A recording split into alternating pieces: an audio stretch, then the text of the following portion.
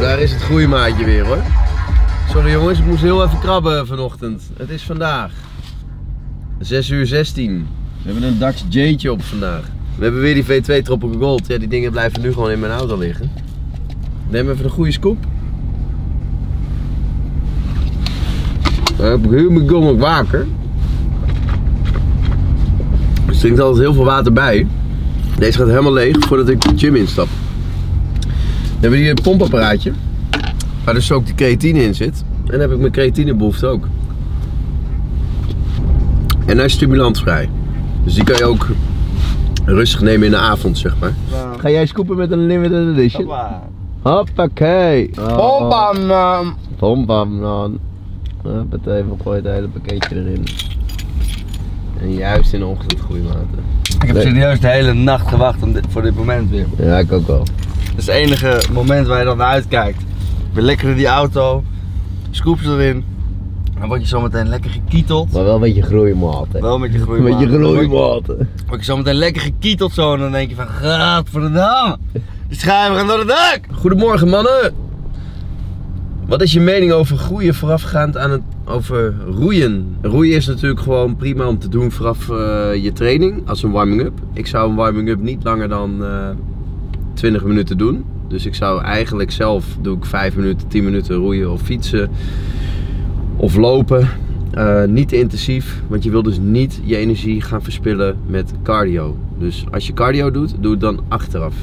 Om 6 uur 's ochtends is het een kwestie van kont te bonken of je kont wordt gebonkt. Dat heeft Lloyd wel begrepen. Kijk, dat vind ik nou echt een leuke comment. Daar kan ik echt wel genieten. Like! Is die weer van Herman? Maar joh, ik abonneerde vorige week en druk godverdomme gewoon 30 kilo neer. Dat bedoel ik. Abonneren voor die grotere chestgroeimaten. Besef even dat we met z'n allen groeien in een, in een of ander algoritme. Zitten we met z'n allen te groeien. Groeien, groeien! Hoe heet het nummer op de achtergrond? Alle muziek die je hoort op de achtergrond, eh, dat is voor Klaus Veen. Je ziet die huismoedertjes alweer boos kijken als ze zo lekker die gewichten laten kletteren. Inderdaad. Welke lekkere beatjes zitten er in deze video, Klaus Veen? Weer setje, Klaus Veen. Het is allemaal Klaus Veen. En vaak eh, maakt Klaus Veen een beatje gewoon te plekken. En dan pleut hij dat eronder. En als het bevalt, dan maken we er gewoon een nummer van. Dat is hoe we roll gewoon. Wij, wij maken gewoon shit en we gooien het erop. Wij doen niet zo moeilijk. Je bent de beste, doe zo verder. Elke morgen hoor ik de wekker afgaan met nummer afbreken van Engenoise en eh, Defense. Volgens mij is dat die hele snelle. Ik ga me zo eens even opzoeken. En dan hoor ik al om 6 uur in de morgen: Kom je nest uit! En de ene keer word ik er rustig van, wakker van, eh, van het nummer. En de andere keer sta ik. Ja, dit is allemaal met hoofdletters en dit en dat, jongens. En de andere keer sta ik in no time naast mijn eigen fucking nest. En dat eh, omdat ik wakker schrok. Ik kan één ding vertellen. En dat is de, weer allemaal hoofdletters. En dat is de meest harde manier om gemotiveerd te worden. Godsamme, wat lekker zeg. Morgen.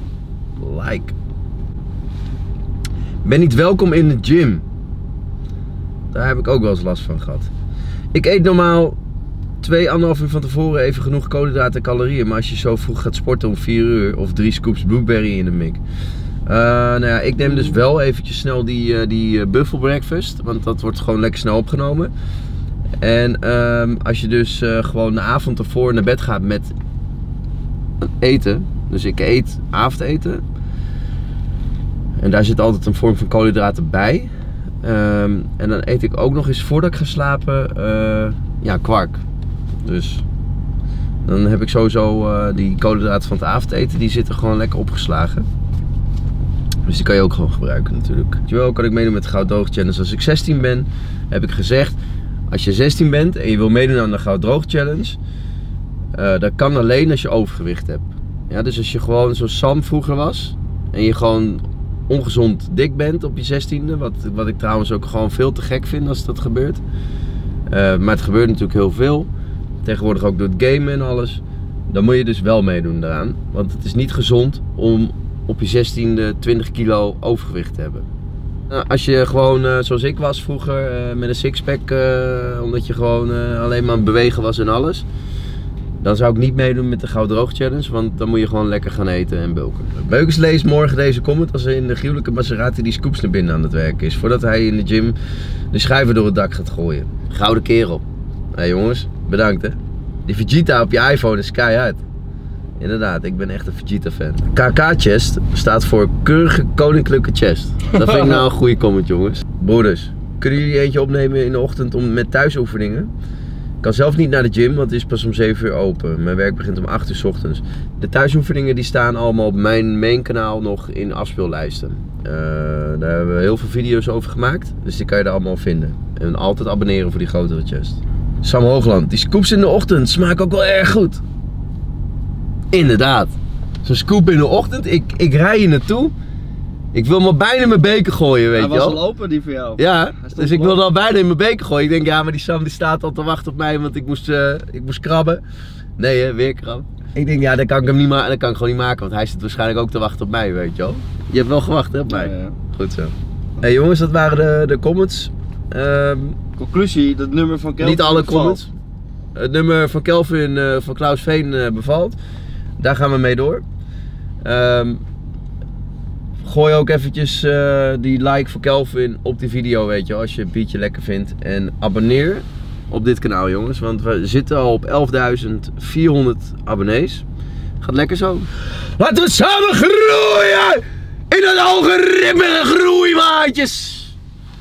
Als een soort matrix zitten we te groeien samen, te knagen aan het algoritme. En dan kruipen we samen omhoog. Naar die pot goud. Is lekker hè?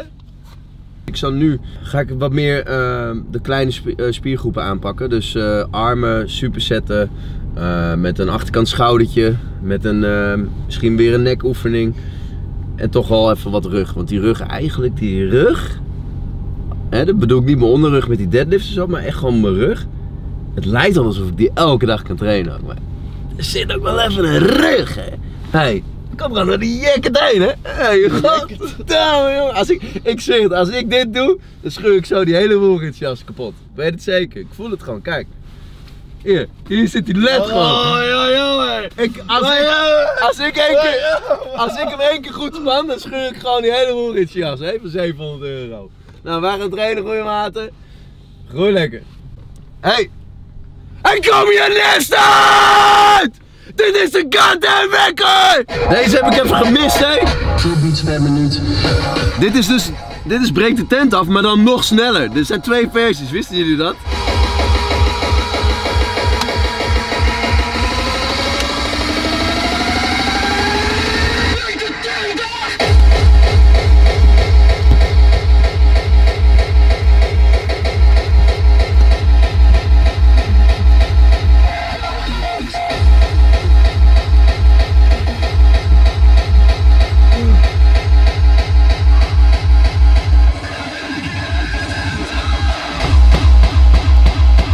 Met je groeimaat. Je zet een setje aan. Je deed die fucking pre-workout zonder te janken. Over dat gejank allemaal op het internet.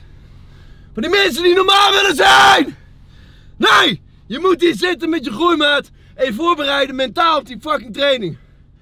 Zodat je die adrenaline opwekt. En gewoon die hele schuiven door die hele gym heen knalt. En waar, waar denk dat wij dit van hebben? Waar denk je dat wij dit van hebben? Van het fucking rugbier! Als je dat veld op moet en iemand dwars door midden moet tackelen! Wat denk je nou zelf mee? Dat we dan even... Oh nee, ik doe wel een koffietje! Ja, of een thee! Oh nee, ik drink alleen maar water hoor! Nee! Dan heb je hele pot en een buikje helemaal op de midden gewoon! Gewoon BAM! Zo voor je bakkers! Ja, daarvan komt het! We zien er steeds meer jongens uh, groeimaat. Ook dames hè. Zien we dus hier om 6 uur trainen. En ik zag ook al een goudbekertje. Dus daar gaan we gewoon even naartoe. Vragen of hij geabonneerd is. Als hij geabonneerd is op Joël Beukers, dan krijgt hij van ons een tasje. Wat zit erin? Oh, een verse. Verse. Ja, ik ga ook even trainen s ochtends. Zeker, heerlijk. Nou, je hebt me wel gemotiveerd, ja. Maar we hebben een vraag. eh, Vertel. ben je geabonneerd? Ja, Kun je het laten zien? natuurlijk. de app Groeimaatje stond gewoon aan, hè?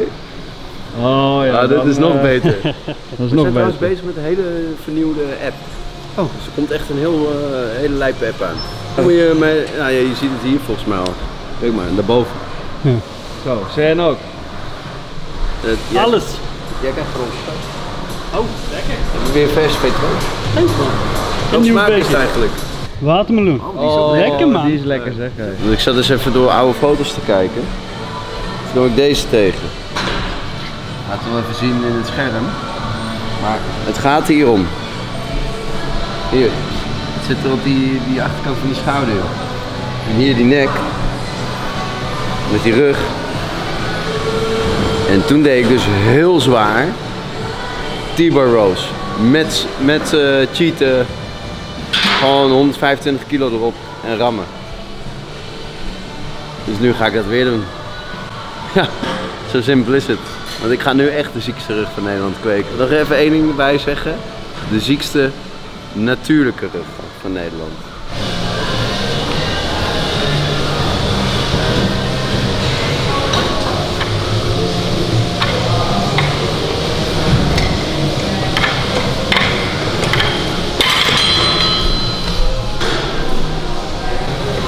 Oh, daar gaat het looitje.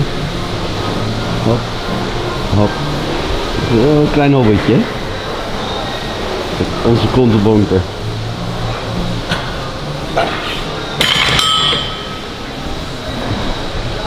Ik heb jou betrapt. Nee? Van? Ik kan, ik, ik kan hier dus niet tegen. Zeg je dat? Ja. Kijk. Wie zet hier nou die pin neer? Jij. Ja. Waarom? Laatste stapje, daarna laatste Nee, natuurlijk niet. We kunnen toch net zo goed hier het grote mannenblok doen?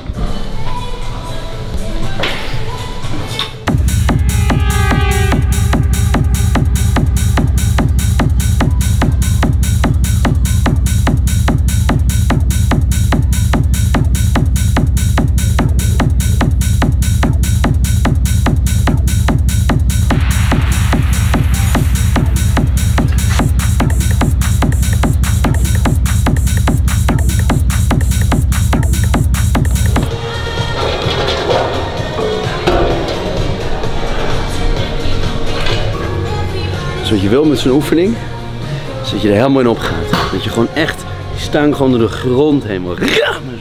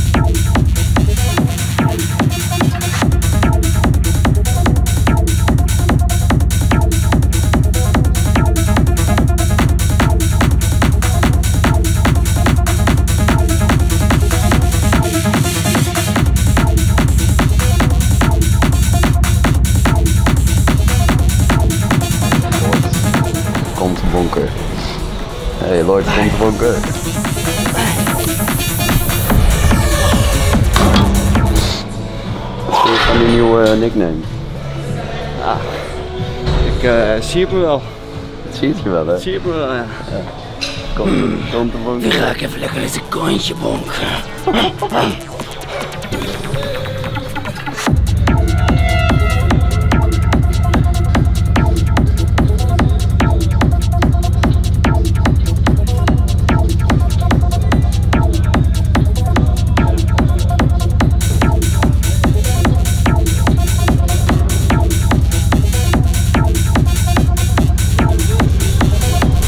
Nou we zijn al de hele week om eh, rond 6 uur aan het trainen.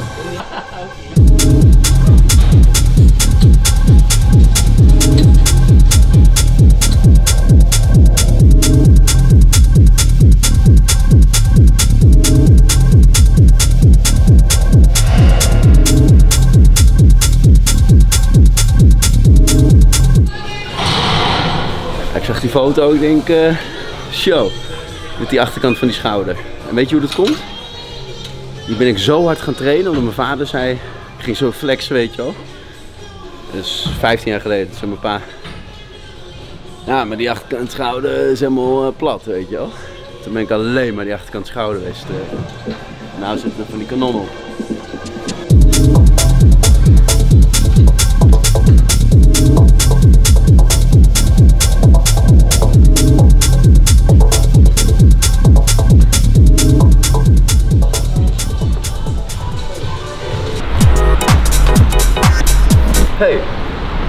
buiten.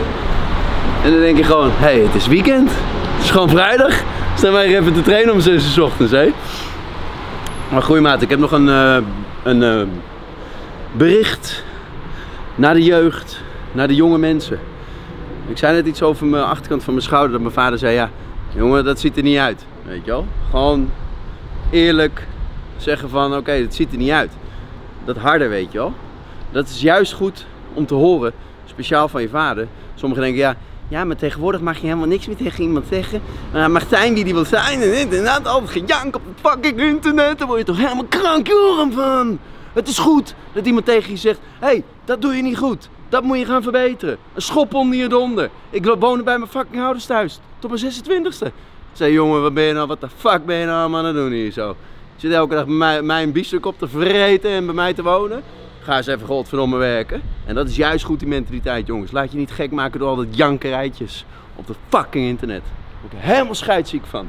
Helemaal scheidsziek van.